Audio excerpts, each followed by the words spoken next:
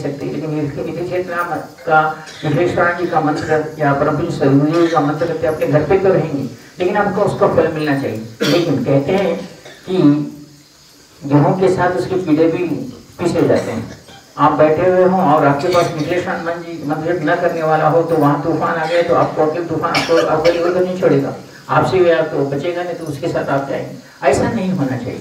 ऐसा नहीं होते हुए आपकी रक्षा होने के लिए हमें निरंतर क्या कहना चाहिए कि ऐसा कुछ हो कि हमारे जीवन में आ, ऐसी मृत्यु या अकाल मृत्यु ना आए जिसका सब कुछ विनाश हो जिसका सब कुछ चला जाए ऐसा ना हो। इसके लिए क्या करना है? यही बात एक बार अर्जुन और श्री कृष्ण जा रहे थे तो अर्जुन ने श्री कृष्ण से पूछी थी कि भगवान श्री कृष्ण ये बताइए मृत्यु का खेल क्या है? तुम तो सब लोग जानते हो। हर आदमी मरता है, जीता है, सुख है, दुख है। ये सारी चीज़ें इस संसार में वो जो इसे कहती है उस थी कि खेल में मैं भी एक पासा हूँ। लेकिन यह खेल जो खेला जा रहा है, उसमें दुख का अनुभव कोई नहीं करते और सुख का अनुभव सब करते हैं। लेकिन जो कोई कृष्ण को ध्याता है, कृष्ण की पूजा करता है, कृष्ण को नैवेद्य चढ़ाता है, कृष्ण से प्रेम करता है, उसे दुखों से खेलने में आनंद आता है। ऐसे ही अगर आप, अगर कृष्ण यजुर्वेद शाखा में अपस्तंभ नाम के ऋषि हुए अपस्तंभ नाम के ऋषि ने, ऋषि क्यों कहलाए वो? वो कोई तपस्या नहीं करे। उन्होंने कुछ नहीं कहा। कृष्ण के सामने बैठकर कहते थे, हे कृष्ण तो मेरे लिए मैं कितने भी जन्म लेने के लिए तैयार मुझे एक दो। इस संसार में कितने भी दुखी लोग हैं। उन्होंने पाप किया हो, उनका दुख है तो उनके सारे दुख मुझे दे दो। और मैंने कुछ पुण्य किया है तो वो पुण्य उनको प्रदान करो। ऐसे ही कोई क्रिया, ऐसा कोई विधान हो तो मुझे बताओ, मैं दुख भोगने के लिए तैयार हूँ। ऐसा ऋषि कहने वाला कोई ऋषि नहीं हुआ आज तक। सभी लोग ने अपना अपना स्वार्थ हुआ। इसलिए कृष्ण यजुर्वेद में अवस्था शाखा के लोगों में जो त्याग होता है शायद ही में हो सकता है वो ऐसे लोग नहीं होते जिनमें वो अपना सब कुछ निशार करने के लिए तैयार रहते हैं और दूसरों के दुख में भागी बन जाते हैं। तो उस अपस्तंभ ऋषि ने जब कृष्ण से यह मांगा तो कृष्ण कहते हैं कि तुम राधा जैसा मुझसे प्यार करो। अब राधा जैसा मुझसे प्यार करना वो क्या बात है? किस बात किस किस तरह प्यार करें? तो उन्होंने कहा, हे प्रभु, ये भी तो बताओ कि राधा राधा जैसा प्यार किस तरह किया जाता है क्या जिससे राधा जैसा प्यार आए, जिससे आप राधा के बन गए या राधा आपकी बनी? तो कहा कि राधा की भी शादी हुई। राधा के भी पति थे। लेकिन राधा कृष्ण से प्यार करती थी। एक बार हुआ ऐसा कि राधा की सास जो थी और ये नियत रूप से बेटे को कहा करती थी कि देख तेरी पत्नी फलाने इससे प्रेम करने जाती है, उसके साथ जाती है, उसके साथ करती है। और उसका पति कहता था, माँ, तू क्या उसके पीछे पड़ी है। उसका वो उन्हें कहा यमुना को पानी लेने है पानी तो रास्ते में बहुत सारे लोग मिलते हैं, उसने भी दिन बोली, उसकी भी सुनी, उसकी भी सुनी, उसने कहा, अब मैं तुझे बताती हूँ दे वो कल कहेगी कि मैं यज्ञ को जाने वाली हूँ। यज्ञ हो रहा है, यज्ञ में जाने वाली हूँ। तो उसने कहा, ठीक है तो क्या देखूँ? तू जाके यज्ञ यज्ञ में क्या हुआ है, तू आगे बता देना। यज्ञ में वो बैठी हुई थी। यज्ञ सभी का हो रहा था, सभी अक्षर डाल रहे थे, सभी दंपतियों को बुलाया जा रहा था। सभी लोग आए और सभी लोगों ने अक्षर ब्राह्मण ने आशीर्वाद कर दिया और सास बोली कि अब आगे क्या करना है? क्या और आगे क्या देखो माँ? तो उसने कहा तूने कुछ देखा नहीं, कुछ भी नहीं देखा। क्या हुआ? तो उसने कहा, सब तू बेकार की बातें करती है और पति चला गया। बाद में क्या हुआ? जब वो आशीर्वाद लेने, फल लेने गई तो पति अपने राधा के पास आके फल लेने लगा और पति पत्नी दोनों फल ले लिए और घर आ गए। सभी लोगों ने जब पति को मिला। अरे, तुम अच्छे राधा के साथ बैठकर प्रसाद ब्राह्मण से ग्रहण किए तुम बहुत भाग्यवान हो। राधा के साथ प्रेम करते हो। तो कहा बेकार की बात करते हो, मैंने कभी का घर क्या जाएगा मैं उसके साथ कहा था? नहीं था। सब लोग क्या बेकार हम सब लोग देखें तूने तो प्रसाद लिया है उसके साथ।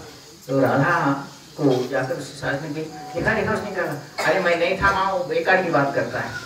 राधा ने कहा कि, सास अगर घर को जाने के बाद मुझे गालियाँ देगी, कुछ ना कुछ होगा, कैसे होगा? लेकिन देखती क्या है कि उसके पति ने प्रसाद किया हुआ सारा जग जानता है। अब सास को गाली देने के लिए जगह नहीं, और इसको अपने कहने के लिए जगह नहीं, मेरे साथ कोई था या नहीं था। तो उसने कहा कहा कि कृष्ण, मेरी लाज रखना। और कृष्ण हर समय में जब भी उसकी सास उसको देखने आती थी, उसके बाजू में कोई नहीं होता था या पति होता था। अब कृष्ण कहिए तो उसके साथ था, वो कहता था, मैं नहीं था। और वो पति तो उसके साथ, पति के रूप में कृष्ण रहा करते थे। इसके बाद इसके बाद जब कभी भी वो अपना कुछ खाना घर में बनाती थी तो खाना बनाने के बाद उसमें चुरा कर थोड़ा रखती थी। कि गोपिकाओं के साथ, जब गोपाल बाल के साथ कृष्ण जाते हैं खाना खाने के लिए तो उस खाने के साथ मेरा भी पकाया हुआ खाना ले जाकर कृष्ण को खिला दूँ। ये उसकी इच्छा होती थी। लेकिन वहाँ उसका कृष्ण के एक दोस्त थे, उनका नाम था सुदामा।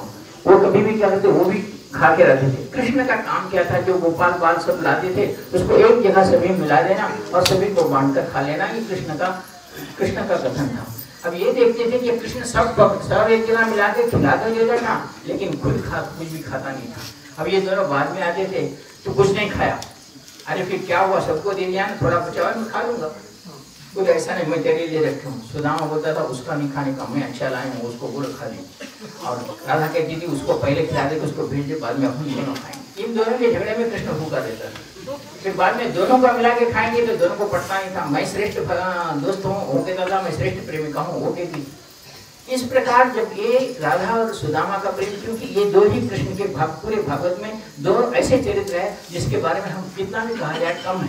दोस्त के नाम पे सुदामा और प्रेमिका के नाम में राधा, ये दोनों कृष्ण के बारे में जिस प्रकार चाहती थी जिस प्रकार कहा करती थी। ये ये उनका प्रेम भी श्रेष्ठता की इसका इसका कारण इसलिए बना कि वो अपने लिए कुछ नहीं करते थे।